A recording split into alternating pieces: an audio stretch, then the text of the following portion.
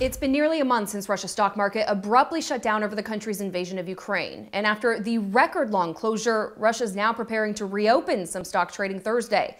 This is what happened the last week the stock market was open. Stocks tumbled 33% in one day, erasing 189 billion in shareholder wealth. That was the first day Russia started its attack.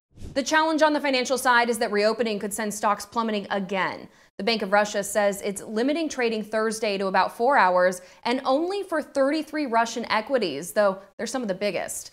Traders are also banned from short selling. That's when you bet on a drop in share price. But even without that option, investors are steeling for a sell off. Whatever happens when the market reopens, it's only reflecting half the story. That's because foreign investors who might want to bolt are blocked from doing so. Russia has banned brokerages from letting foreign clients sell securities. In New York for Just Business, I'm Simone Del Rosario.